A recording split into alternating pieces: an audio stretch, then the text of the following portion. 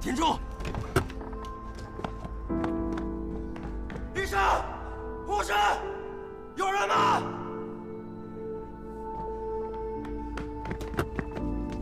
孙雷，孙雷，撑住，孙雷，他左肩中枪，流了很多血。我们马上抢救，赶紧准备二号手术室，通知吴主任，赶紧联系血站去。家属，他什么血型？A 型。好。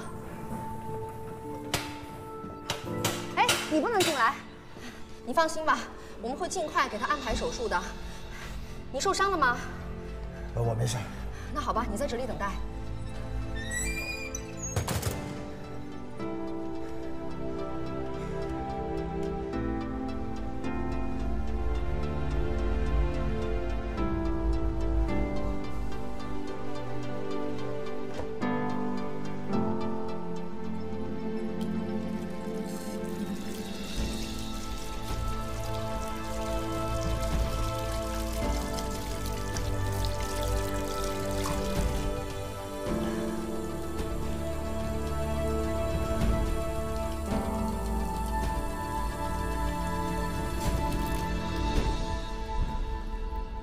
您好，能借一下你们医院的座机吗？我手机丢了，我有些紧急情况要向我们局里汇报。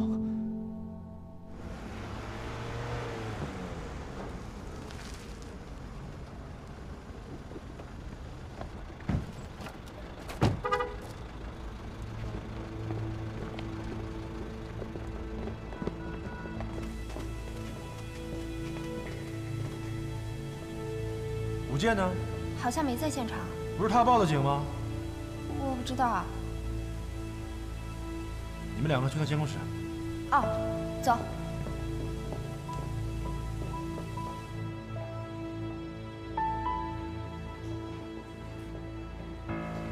员队，员队，在楼下找到一部手机，正在呼叫，显示的是你的名字。这吴健呢？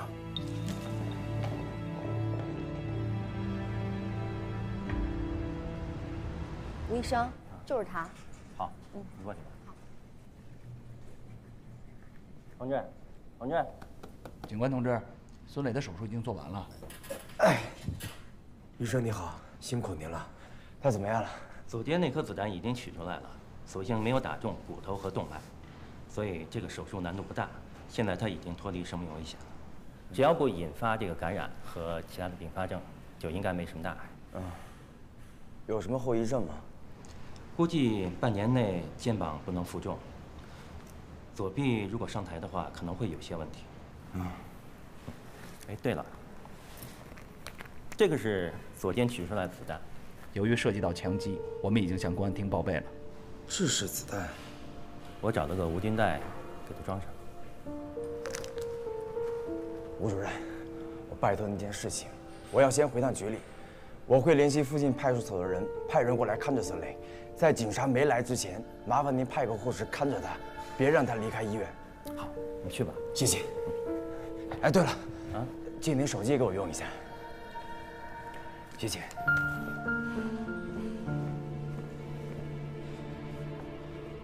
呃，值班室吗？我是罗源县局的武健，我送了一个枪击案当事人到市立医院，麻烦你们尽快派人过来。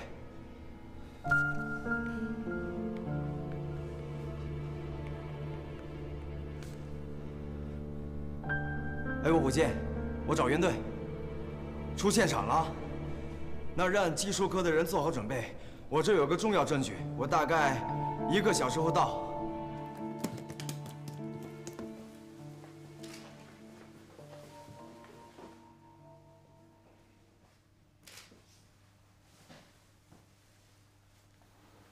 小王，哎，你那有什么发现吗？暂时还没有。这弹头肯定就在这屋里啊，接着找吧啊！哎，袁刚，哎，刘局，您来了。我早都来了。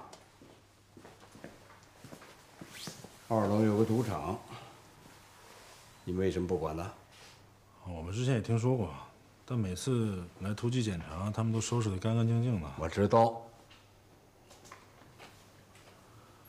刘姐，这现场被破坏的太严重了，那脚印乱七八糟的，而且这这弹壳跟弹头还没找着呢。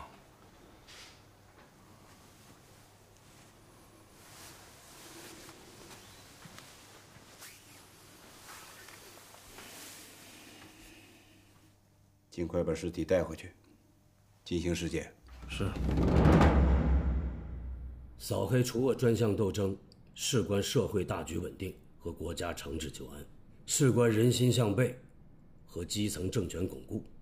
扫黑除恶专项斗争犹如逆水行舟，不进则退，一定要盯紧问题线索，进一步加强案件侦办，回应群众呼声。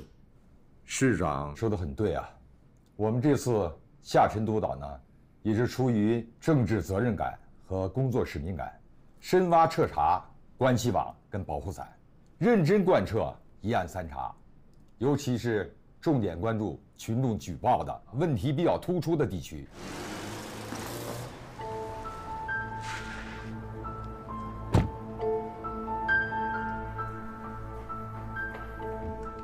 小董，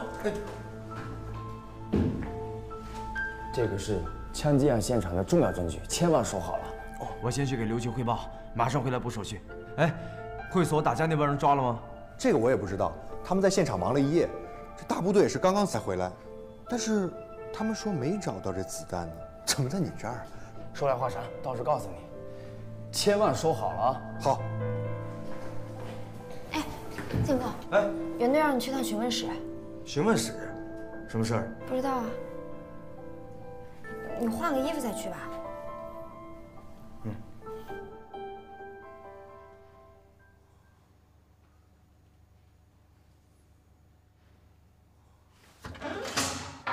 吴健，一会儿省里下来一个刑侦专家，省公安厅刑侦总队支队长文路阳，按照相关规定对你进行询问调查，你给我好好配合啊！调查我？没错。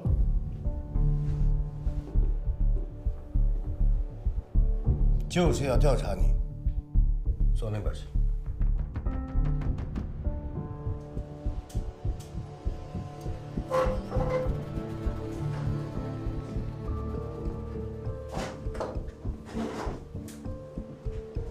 请问我犯了什么案子？幺幺二零小月会所持枪杀人案。孙磊只是受伤，我已经把他送去医院了，哪来的杀人案？死者名叫罗正德，光头。他死了。对，他死了，所以我们怀疑孙磊是幺幺二零小瑞士会所持枪杀人案的犯罪嫌疑人。但是孙磊中枪了，他是受害人，怎么变成嫌疑人了？再说了，你们怀疑孙磊，跟我有什么关系？因为根据现场目击者说，是你。把犯罪嫌疑人孙磊带离犯罪现场。袁队，我建议按照组织上的相关程序，准备对五件，实施停职检查。好，来吧，张姐。我们刚刚接到了两份举报信，你看看。您特别拿出了这两份，有什么特别的吗？丰州市副市长枪击案这么快就有人举报了，是不是有点意思啊？啊，这两份啊，都和枪击案有关，一份说是搬运村黑恶势力干的，还有一份说是回发集团干的。哎，咱们公安那边派谁下去了？文路阳。这个人是谁啊？哦。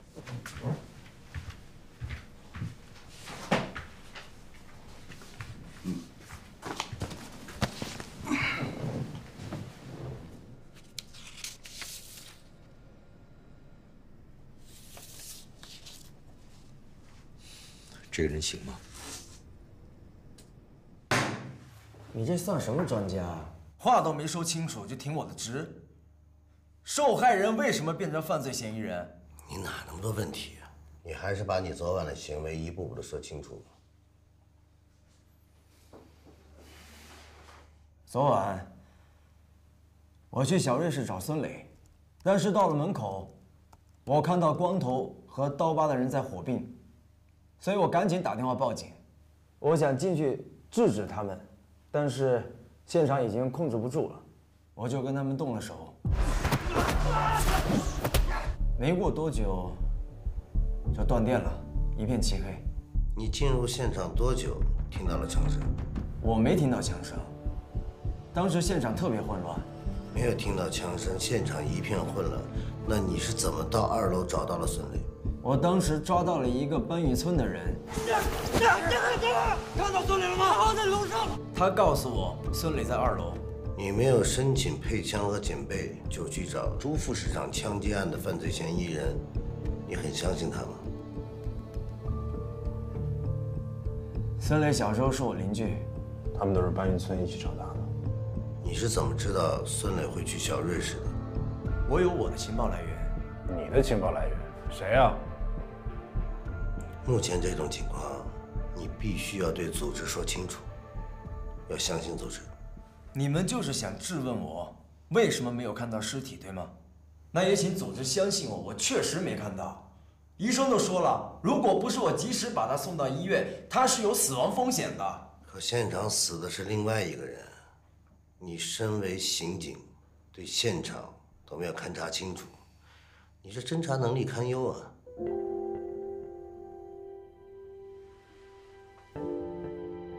我没记错的话，您昨晚也在小瑞士附近的小吃店吃了一碗清汤面吧？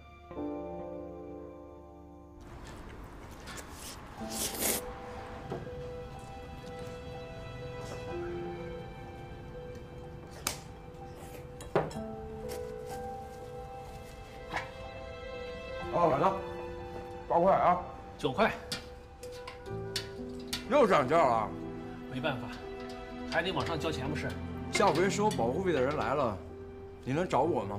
观察能力还不错，你看见我吃面呢是个巧合，但是你找到孙磊不会也是个巧合吧？小瑞是有我的眼线，如果看到孙磊，他们会通知我。但是昨天下午我接到了一个陌生电话，男的，他告诉我孙磊晚上七点半会在小瑞士，但是我不知道这个人是谁。你查一下他手机，电话给我。丢了，昨晚丢的。对了，光头的手下和刀疤的手下打架，光头死了。有没有可能是刀疤呢？因为我上到二楼之后，看到有一个人影很像刀疤。我们县里一个混混头目，外号叫刀疤，在名城领会。继续。现场那么多人，没有人看见刀疤昨晚在会所呀。现场打架的人有一半是刀疤的人，搬运村的人也没有人看见刀疤。那你的意思是我看错了？你是觉得刀疤当时没在会所是吗？根据现场口供，出现在二楼的只有光头和孙磊，所以孙磊是杀死光头的唯一犯罪嫌疑人。但是孙磊中枪了，所以我的第一直觉他是受害人，而且就在路上，有辆皮卡突然出来追我，显然就是冲着孙磊来的。我好不容易甩掉他，才把孙磊送到医院，还取出了一颗制式子弹。你们可以去查查他的就诊记录，子弹我已经送到了技术科，你们也可以去查。孙磊现在已经抢救完了，等他醒了，我们查他不就好了？查我干嘛？我们查了，医院没有孙磊的就诊记录，你所说的那颗制式子弹也已经不见了。建哥。怎么了？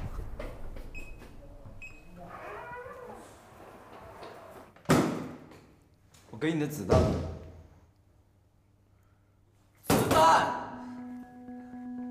你把它给我之后，我就放回来没动过。后来一转头，它它就不见了。我写好了编号，准备跟现场所有的证物一起归档。人，哎，来了！来来，帮帮忙！怎么了？哎。哎呦，哎呀，哎呦呵，怎么了？怎么了？这什么东西啊？这都是现场的证物，外面还有好多呢。快你先搬进去，我继续往里搬。行，那你快去。好，慢点啊。好好好。这么重。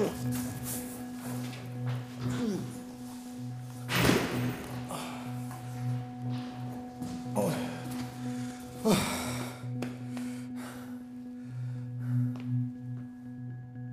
上午有谁来过？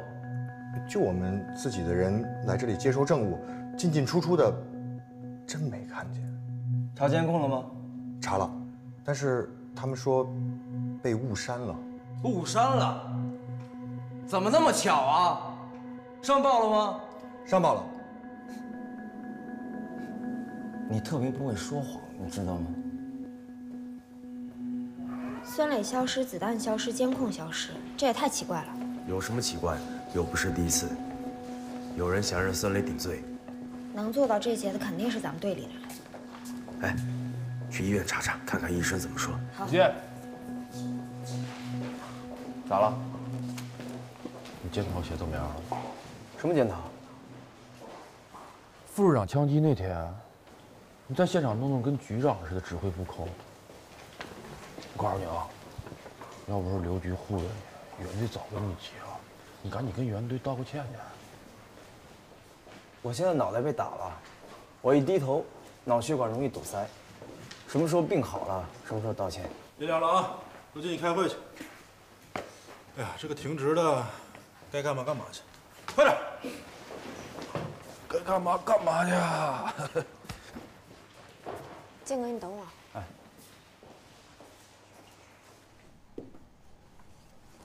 最近我们罗源县接二连三的发生了几起案件，是这几起案件都跟搬运村有关系。现在我介绍一下，文队是我们粤东省省公安厅刑侦总队的支队长，上面呢特意派文队到我们这里来指导工作。文队，给大家说两句，欢迎。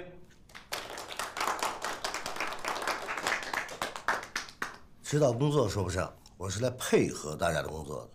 呃，跟我一起前来的还有胡一峰同志，是我的助手，也是我们刑警总队的骨干。时间紧迫，客套话呢我就不多说了，还是请刘局继续介绍案情。好。就在昨天晚上，在搬运村，作为村民代表跟副市长交谈的那个光头，被发现死在了小瑞士的会所里。命案为大呀，袁刚，嗯，你把对案件的调查情况详细的给文队介绍一下。好的，刘局。昨晚我们接到报警之后啊，十多分钟就到达了现场，在小瑞士会所二零幺包房发现了一名死者。死者名叫罗正德，外号光头，是搬运村混混的头目，心脏呢被子弹贯穿，当场死亡。当时啊，楼下有人在打群架。后来呢？这批人跑到楼上，现场被严重的破坏。凶器呢？现场没有找到任何的枪支。现场有没有找到弹头、弹壳？也没有。这就是你组织勘查的现场吗？工作不精细，态度不认真，这是我们这个职业的大忌。还有那个技术科的小董，能把证据弄丢了，我看他那个警服该脱了，因为他不配，不用再干了。这个事儿一定要查清楚。刑事技术呢是一个比较复杂的学科，我这次来就是给大家提供技术上的支持的。咱们不怕犯错，就怕不纠正啊。袁队，继续。根据我们现在掌握的线索啊，这三起案件都与搬运村的拆迁有关系，且共同嫌疑人呢就是这个孙磊。第一个打拆迁员的案子。经查实呢，把拆迁员扔回局里那辆车，平时都是孙磊在开。第二个枪击副市长案，根据吴健的目击口述，孙磊很有可能就是嫌疑人。还有昨晚上的命案，据现场的人说啊，断电之前只看到了光头和孙磊上了二楼，没有发现其他嫌疑人。吴健不是说看见了刀疤吗？只有他自己那么说，现场那么多人都说没有看到，单凭武健自己的言辞证据，不足以采信吧？断电是怎么回事？电闸在一楼，没有人为破坏的痕迹。据说是有人想阻止打架才拉的电闸。断电以后，那包房里是很黑的。这个孙磊可以在这种情况下一枪打中光头的心脏，这枪法可以啊。文队，您不知道，搬运村那个地方的人啊，或多或少都练过。这个呢是搬运村的新兴犯罪团伙十三少，孙磊啊就是其中之一。这伙人呢，盗窃、抢劫、打架斗殴，搬运村就是他们的窝点。孙磊啊，很有可能背靠搬运村，实施了三起案件的犯罪行为。搬运村现在还有人在造枪吗？经过多年的严打，现在可能就剩下两家，其中呢，就是这个外号“海盗”的，他叫张征。孙磊打副市长那一枪，射程快接近五十米了，很有可能就是海盗改造的。根据我们的初步研判啊，最近的三起案子呢，都与这个搬运村的拆迁有关系。其动机呢，我们推测孙磊和同伙不同意拆迁，因为他们是无户籍人口，房子呢又是违建，担心拆迁之后得不到足够的补偿，犯罪的行为啊无法得到庇护。这个光头呢，年龄比较大，同意拆迁，无非啊就是想多要一些补偿款。孙磊打拆迁员枪击副市长来表达自己的不满，光头呢明显是反对的，两个人起了争执，所以孙磊开枪打死了光头。我建议闭眼调查，全力抓捕孙磊。我在这强调一下，务必要高度警惕，发现任何蛛丝马迹，严肃处理，绝不手软。是。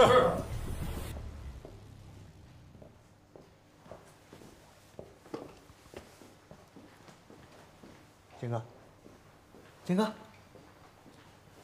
哎，杨豆，来，手机给你。哎，嗯，哎，昨天下午那个来电查到了吗？哦，查到了，但是号码他通过软件修改了，我们只查到了是小瑞士会所旁边的信号塔。信号塔。哦，对了，金哥，那个袁队说了，您那个车啊得拿去这个定损，所以你得把钥匙给我一下。好，走了。哎，辛苦啊。信号塔。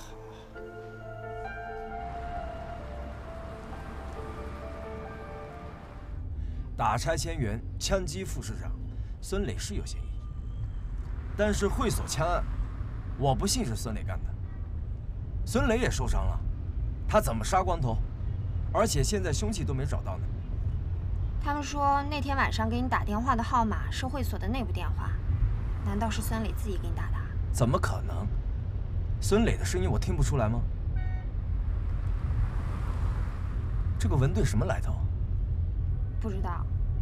不过刘局说他是粤东省公安厅刑侦总队的支队长，而且听说他们家都是干部。啊，难怪。难怪什么？有的警察是管坏人的，有的警察是管警察的。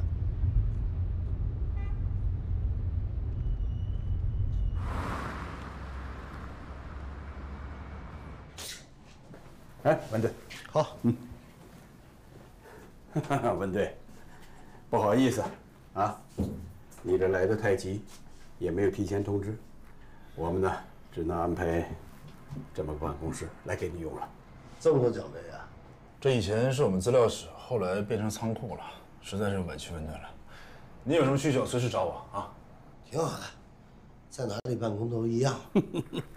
文队。公函里说你是来指导朱副市长枪击案排查工作的，可是你看，你刚来，咱们这儿呢，又出了一起命案。罗源这地方的治安工作，让你见笑了。刘局，你也不要太自责了。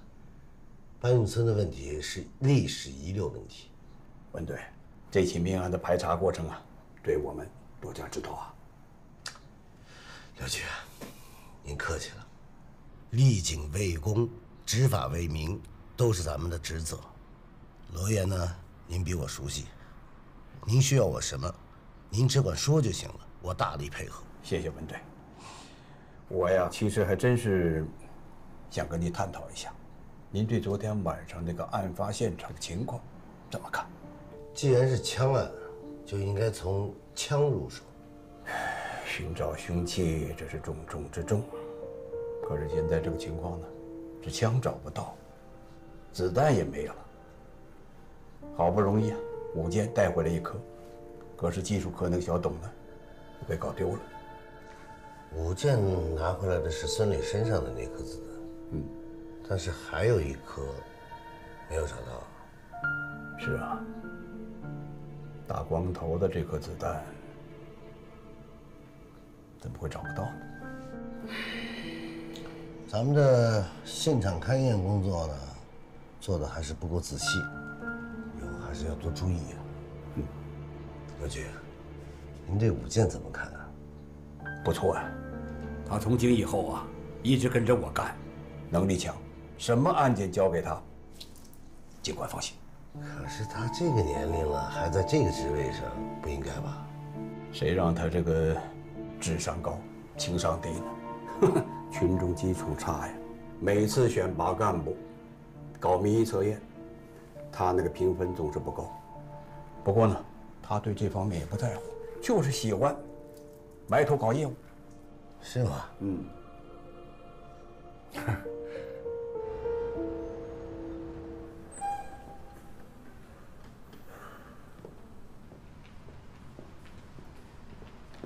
怎么样？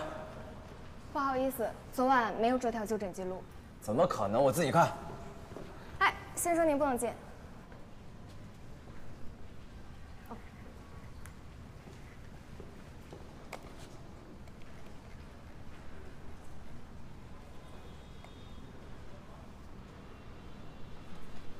吴佳音吴主任呢？昨晚是他给孙磊做的手术。吴主任今天休息。打给他。稍等。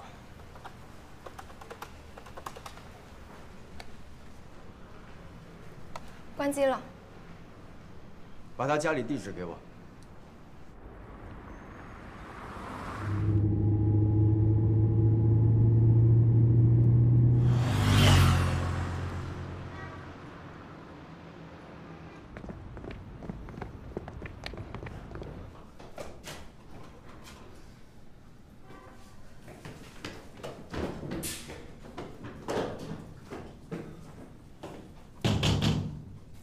吴主任，吴主任在吗？我是昨天送病人来的警察。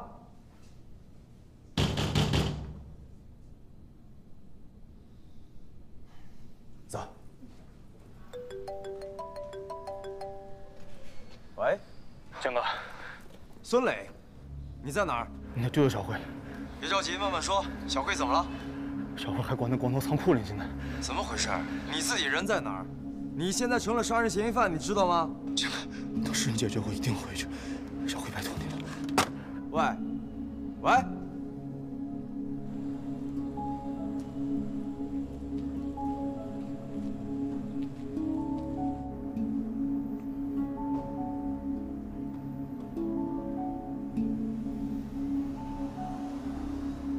喂，我是吴佳音，他已经来过了。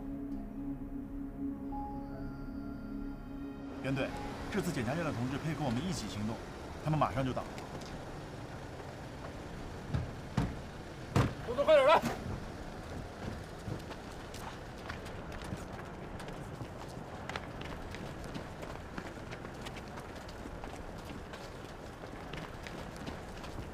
宋哥，哎，怎么袁队每次来白云村都戴头盔啊？你新来的不知道，袁队以前在白云村受过伤，一朝被蛇咬，十年怕井绳。走吧。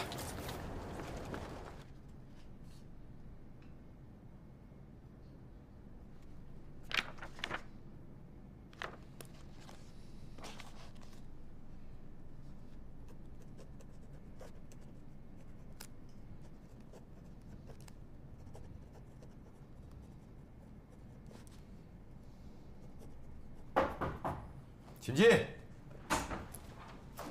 组长，吴乐阳同志到了。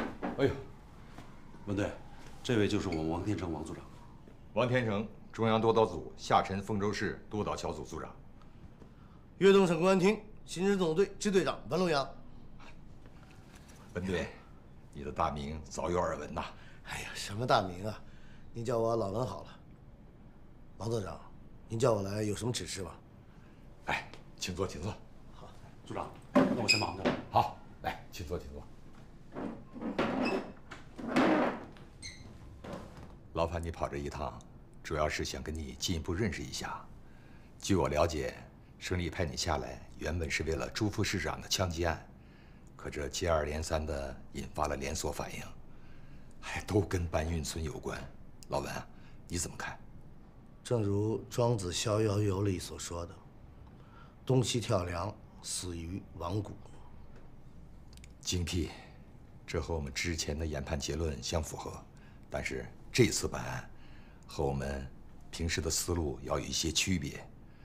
老文呐，扫黑除恶专项斗争的办案机制你熟悉吗？这和以往的打黑行动是有所区别的。这些我们之前已经认真学习过了。很好，这就是我这次找你来的重点。扫黑除恶除了要铲除黑恶势力，还要打散破网，扫除黑恶势力滋生的土壤，改善基层的政治生态。黑恶势力的扫清，还要直指基层腐败，还有官商勾结等一系列问题。中央对这次专项斗争的重视力度和决心都是空前的。阿文呐。你除了要认真审理案子，还要彻查所有的线索和蛛丝马迹。关于法律适用和证据认定等问题，还要重视和检察机关的沟通。老文，你放心大胆去做，有问题随时联系我，我全力支持你。王组长这么一说，我就明白了。有了组织上的支持，我就可以放手去干。好，我相信你。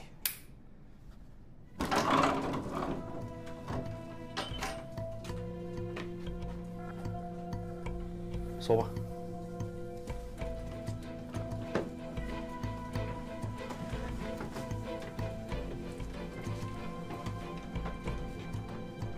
连队，你看这个，我就知道是这小子。放好了。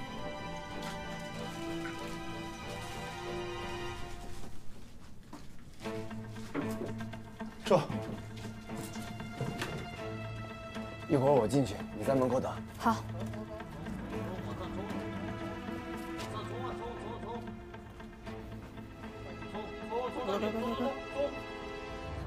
走铁头呢？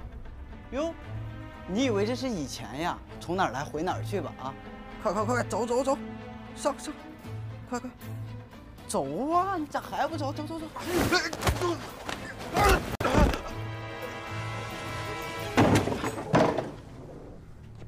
哟，吃饭呢？给他看看，看看。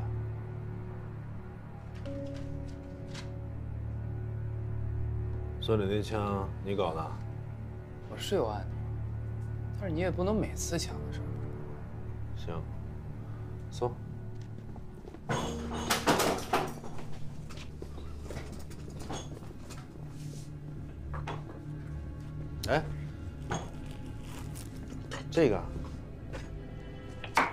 这瓶枪油你给孙磊的吧？没证据，可不能冤枉我。队长。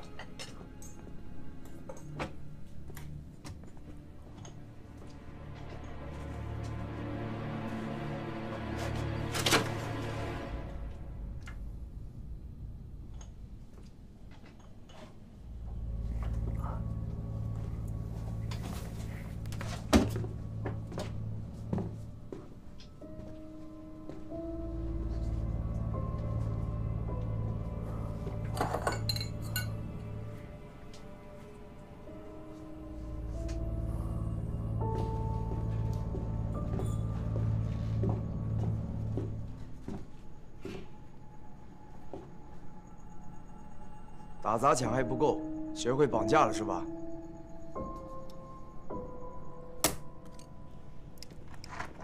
操！怎么哪儿他妈都有你啊？这是我们村内部的事儿，你没资格管。你要是犯罪，我就抓你。犯罪？你是看见我绑他手了，还是绑他脚了？我不过就是邀请人家过来吃顿饭，聊聊天而已。对吧？你这个架势叫请人吃饭？这不就是证据吗？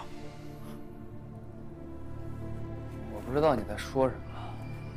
你给我装蒜吧啊！屋里挖个洞，啊，扯根电线，搬个机床，弄些破钢管，就开始造枪。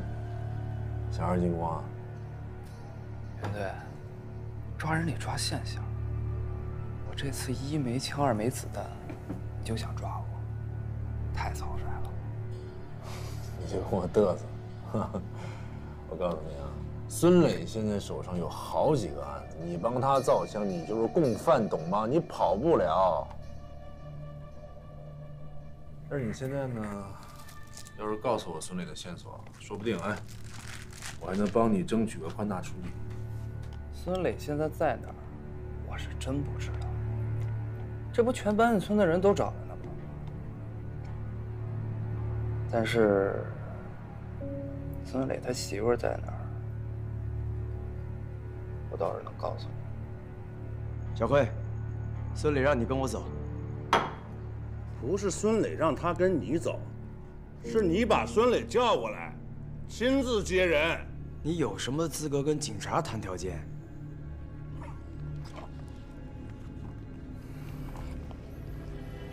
你好像把情况搞反了吧？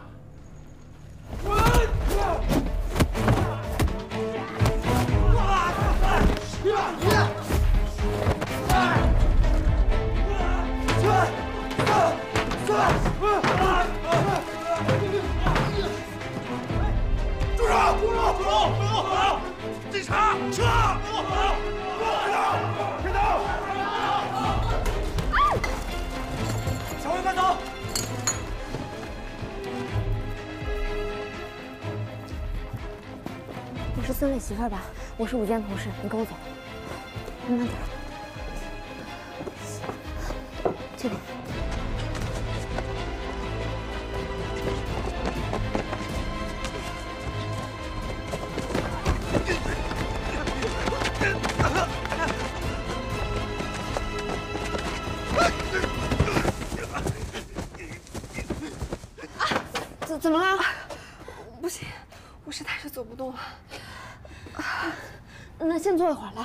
休息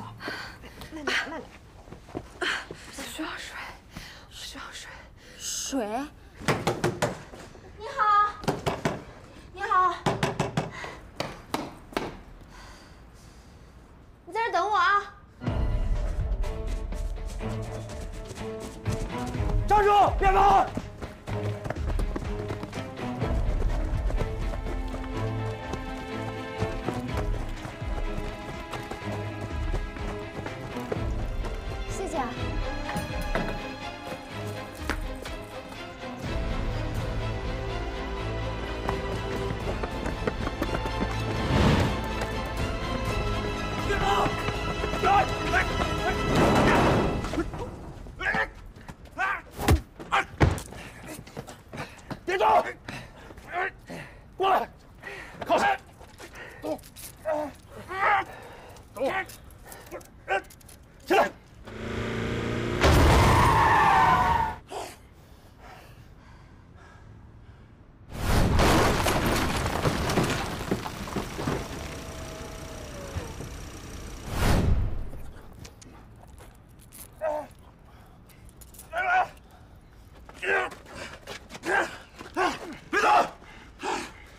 原来那晚撞我车的人是你啊！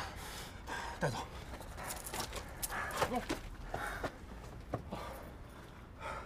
你们怎么来了？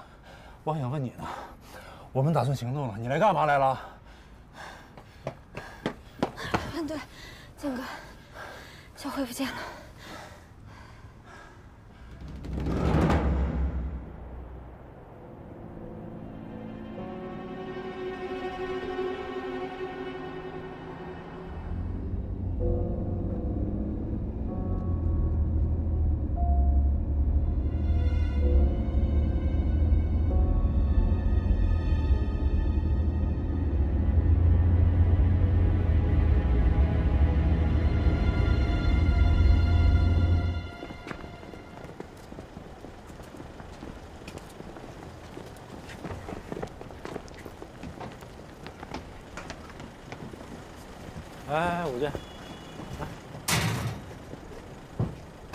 怎么知道孙林老婆在哪儿啊？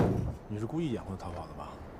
你又怎么知道他在哪儿的？是我问你，还是你问我呀？你先放跑了杀人犯孙磊，然后放跑他老婆，你成心的吗？杀人犯？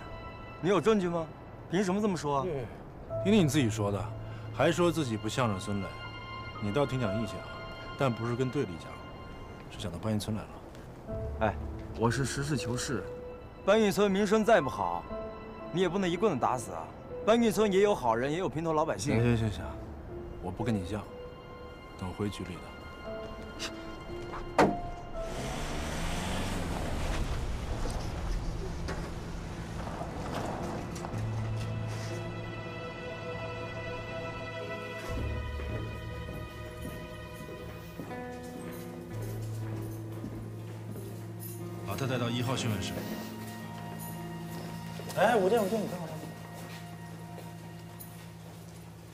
把武健带到询问室。袁队，你是不是有点过分了呀？依然，你看人要看准一点。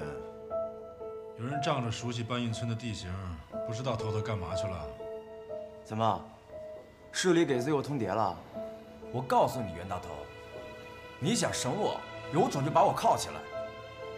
我是不会铐你的，不然我前面路上早就把你铐了，知道吗？要铐你自己铐。你也怕铐我不好看？那行，我自己来。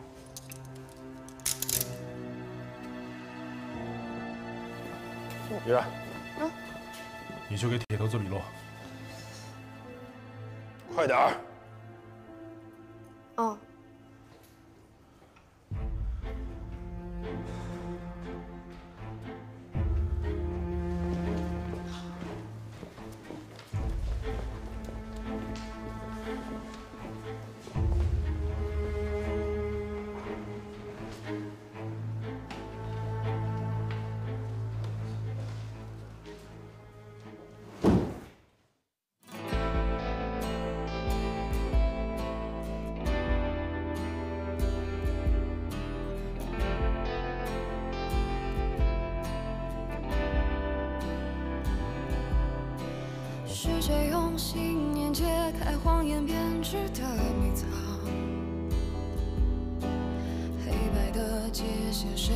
身躯在度量？是谁懂前路艰险，奔赴命运却主张？谁了解黎明的代价是夜漫长？无论故事多跌宕，人不负勇往，迷雾漫过窗，最真的假象，无尽黑暗空洞的回响。我无惧嚣张，就算是最渺小的，那又有何妨？灰暗的天光，迷失的土壤，成全脚下每不敢坚强，胸膛没刀伤。来时的勋章。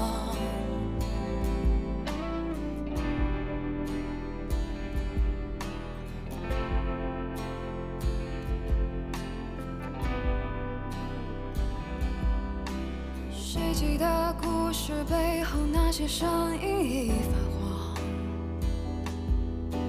谁又懂人间地狱，只隔一堵墙？谁在将荆棘丛生踏过破晓的寒凉？谁了解正义的背后百孔千疮？那些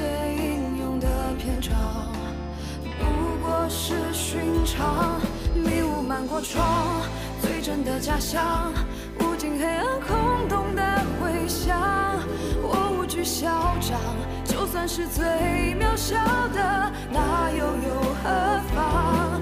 灰暗的天光，迷失的土壤，成全脚下每不敢坚强，胸膛没刀伤。来时的勋章。星光，多少不安无助的回响，我无惧风霜，就算是最脆弱的，也都他一场，当真相塌方，睁眼再彷徨，终有勇气用生命。